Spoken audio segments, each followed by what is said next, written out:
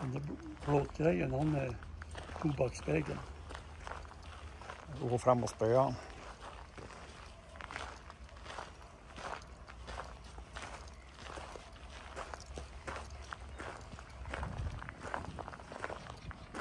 Farsan skulle svära om häcken fick vara såna hög. Fan, är det inget fönster i under trean där? Eller? Det ser fan inte ut som så. Ja, jo, det är fan det. Nu är det. Alltså, nu ser jag.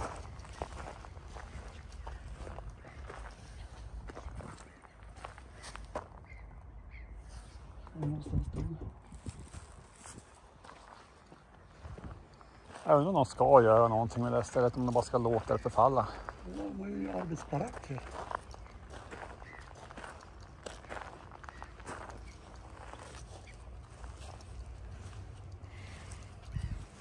Men Pelaraspen han klarade sig. Han jävlar han låg på backen platt mot marken.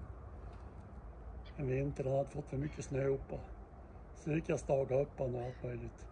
Är det den pinnen du stod upp med? Ja. Då var han ju, pinnen var lika hög som själva pelaraspen. Jag tror inte pinnen behövs längre. Det tror inte jag heller. Undrar om man ser vart han sprack. Ja, hej det här.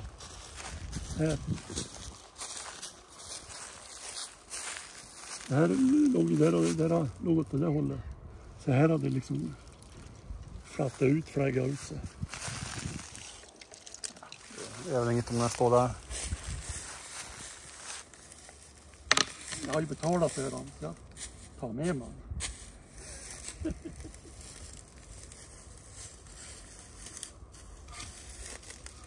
Ärade gäst. Den lampan, vindarna kommer få lite släng.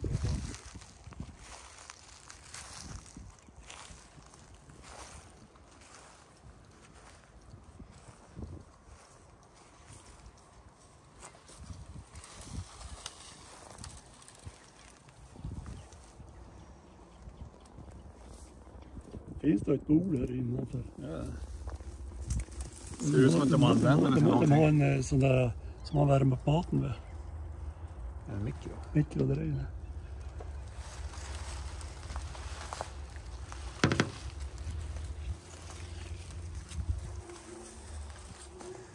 Den här då, då sommarstugan var här ute under den här böjden här. Under den där stod ju sommarstugan. Ja, just det. Ja, just det. Och då var de ju att kapa ner. Du ser ju kapade nere till höger. Ja. Den låg ju mer upp på taket. Så den, den, den jag hejade på, den där killen som jag sa alltid var arg. Mm. Han var ju en av dem som då jobbade på det ställe som var hugg ner det här i små bitar och tog med sig.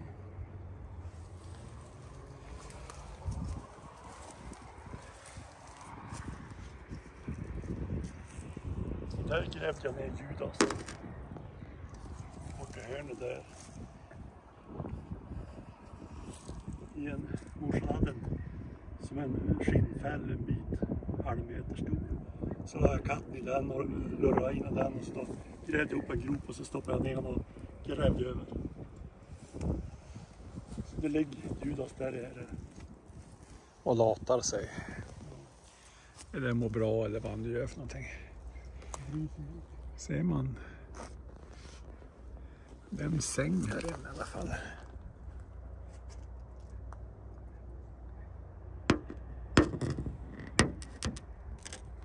Det är fan svårt att filma in och Per, per, eh, pärlan är inte, per land är inte det ser man inte mycket utav. Det är kanten där va. Före. sommarstugan där. Fanns det en eh, stor ilderburen här någonstans. Ja, bort i hörnet där. Där stod det ju en avlång Illerbur. bur. Så jag har bilder av då Rose-Marie var med och det var ju då hon bodde i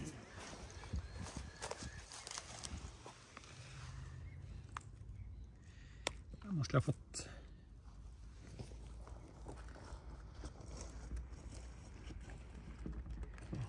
Man skulle ha fått gå in här. Här har de lagt eh, kyl. Det här är ju ett speciellt tall, eh, vad heter det? En contorta tror jag. Nej, det är inte en contorta utan det är någon, eh, vad fan är de kallas? gran. Nej, det är, Nej. de har långa barr de här jävlarna. De heter något speciellt. Nu får du ur huvudet. Vardagsrummet. Vi kan se ut i Görans rum.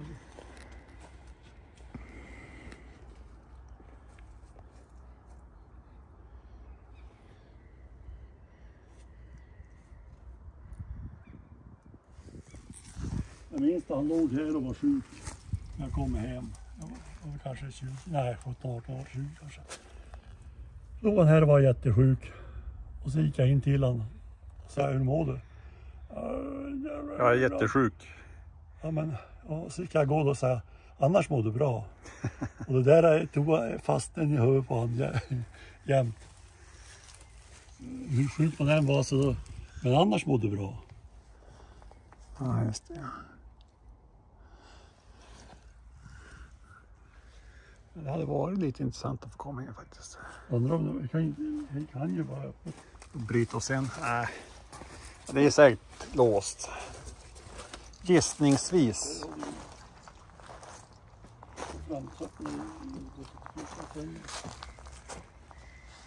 Det här är typiskt. Den där han, han faller aldrig ner för Nej. det fanns inte fast. Och Jag måste knacka se om det är någon hemma. Nej. Här är en jävla Det är det som jag tycker är bäst här. trappan det här neråt. Som finns här. Och det här växer upp. Vad heter Blommar ju upp, ut. ja, vad är det det kallas för? Fräken eller Ja. där. Det kom ju först en liten jävel så fick han upp så här. eh, Stor. Den fläker ut sig själv. Ja, det är något speciellt. Här är väl också låst antagligen. Ja, hon plomberar den här eller? Ja, det här ska få... Ja, farsan har gjort ett extra lås på den här. Ja, just det. Ja, det är den som är...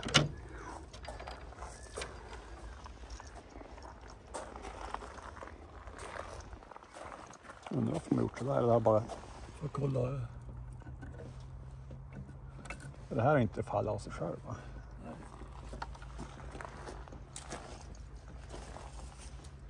Den trean är borta. Ja, den tog vi väl med oss.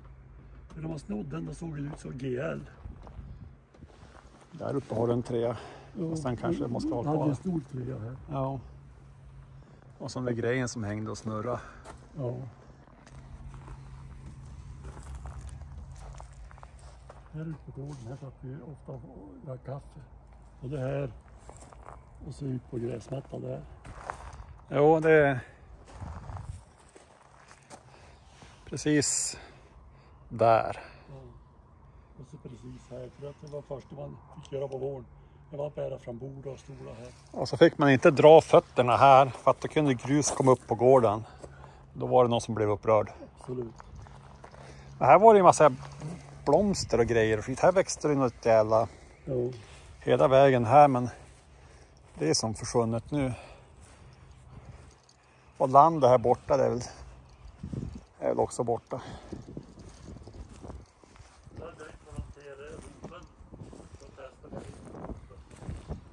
Här nej, det är nog inte mycket kvar. En och välte upp det där. Det där är ett träd som har fått se vika. Jag har sett bättre dagar. Rönn. Någon utav de här rönnarna som står här.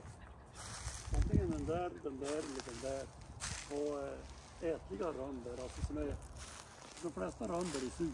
Ja.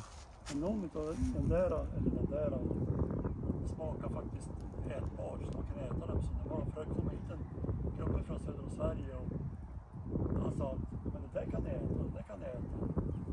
Så jag var tvungen att vara smakad. Vad fan, det smakar ju inte alls dåligt. Så det är olika sorts rönnbär. Den där tallen är fin. Fin form. Ja, Sexig jävla tall. Ja, det är synd att de inte gör någonting här.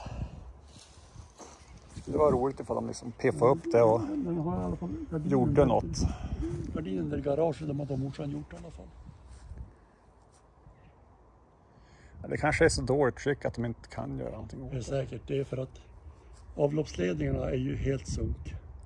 Ja. Måste dra nya le- avloppsledningar till att börja med. Det är för jobbigt och det är för dyrt att bara riva det. De får, det, får stå, kollar det ju- får stå och förfalla bara. Jag kollar ju det, med en firma på Vilhelmina som skulle kunna relina avloppet. Ja. kost, jag tror jag har 40 000 på den. På den tiden.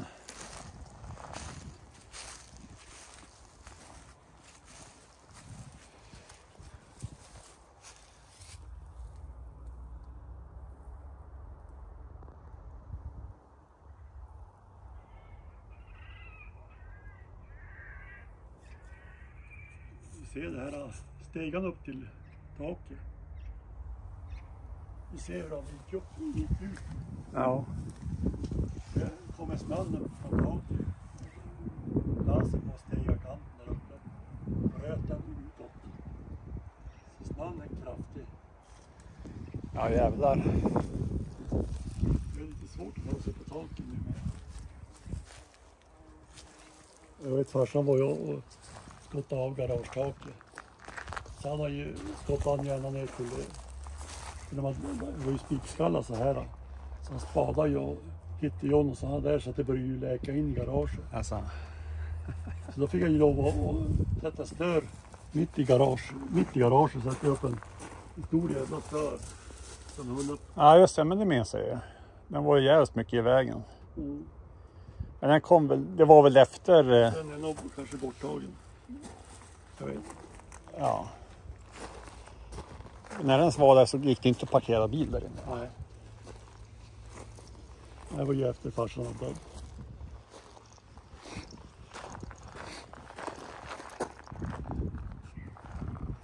Ja.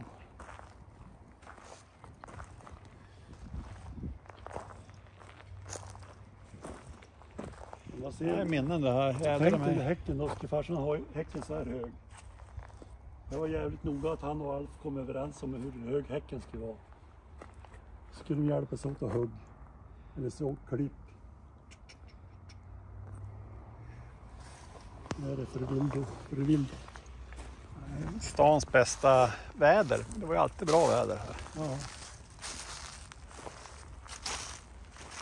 Alf var ju speciell. Alf med den stora näsan.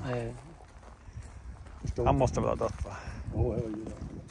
Han dog långt tillbaka. Kärringarna hans tänkte sig ju i källaren i farten. Alltså, man öppnade dörren. Jag och morsan var dit och vattnade blommen. Han var bort en gång. Då hade hon ju hängt sig tidigare. Man öppnade dörren till källaren. Ja. Det gick ju så här rör som är så här tjock som är lite buntade. Ja. Då såg man det repet hade skurit in. Usch. Så hade hon hoppat ner för trappan. Usch. Så när han kom hem då hittade han kärringen hängandes där det. Han öppnade dörren. Vem hänger där? Det är ju min fru. Fast han lät inte så glad. han hade inte samma attityd som du, du när du sa det. Kan jag tänka mig. Nej, Oj, vem hänger där? Ska du hänga heller inte? Ja, sådär hangaround. En hangaround. Nej men det var, det var lite kusligt att gå dit alltså när man såg det där. Alltså att repet skurit in. Ja.